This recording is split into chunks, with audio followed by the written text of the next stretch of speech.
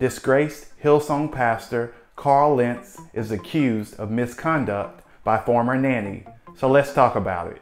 Carl Lentz's former nanny, Leona Kimes, published an essay on Medium in which she claimed to have experienced a great deal of pain while working as a nanny in Lentz's NYC home for seven years.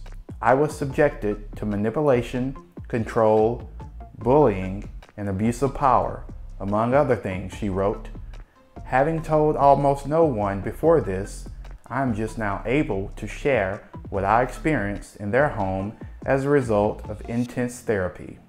I credit Ms. Kimes for stepping up, for being strong, bold, and courageous and getting the help that she needs.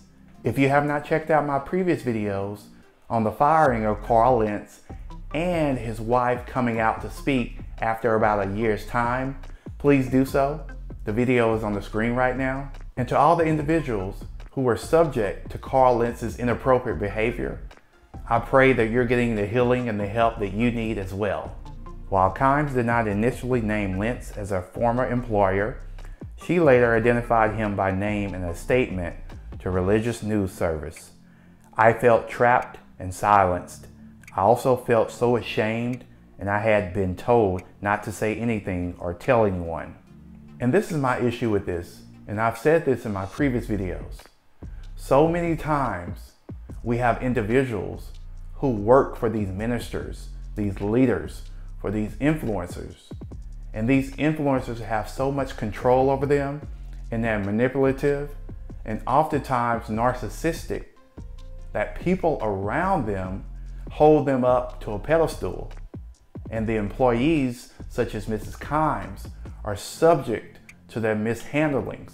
And they're often told not to say anything because if they were to come out and speak their piece and their truth, the individuals who are held to this higher pedestal will be looked at, will be frowned upon. And oftentimes, the individuals who are subject to these misappropriate actions will be frowned upon and they will be shunned and ostracized.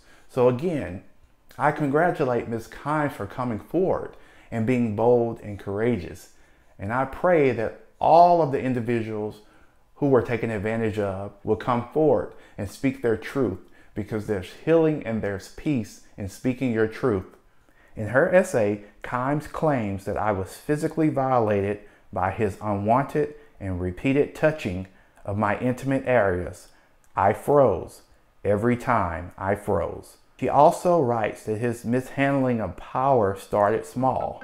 And I've heard this time and time again while coaching individuals. Usually the misconduct starts small. It starts with touching, it starts with inappropriate text messages. And these individuals, particularly men, in a lot of cases, do these small things just to check the woman's temperature. And when they feel that they can proceed with their inappropriate actions, that's when their true colors come out. Kimes alleges that the misconduct started small too, like catcalls around the house, which escalated, like being told after you have kids, we'll buy you a chest job. She writes about the moment my pastor noticed my body in a way that felt predatory to me. This is a classic case of objectifying. If a man struggles with these things, he often objectifies women. He often treats women as objects and less than human. And if this is the case, once again, there's layers and layers of misconduct that's going on with Carl Lentz. And if he doesn't get the help that he needs, he's subject to continuously go down this road. I'm not going to read all of the specifics to this essay. You can look it up for yourself. I would say if anyone is struggling with character and integrity, I pray and I hope that you get the help that you need. I'm offering a free one hour coaching session.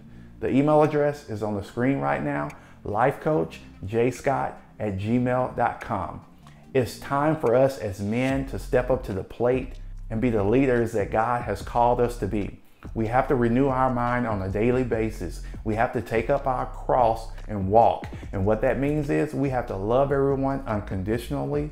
If we have issues that we have not dealt with, we need to get the coaching and the counseling and the therapy that's so much important for our healing and our freedom. Again, if you have not checked out my previous videos on the Carl Lentz allegations and the firing of him by Hillsong founder Brian Houston, please do so. The video is on the screen right now. Thank you again for hanging out with me in this video. I can't wait to hang out with you in the next. Take care.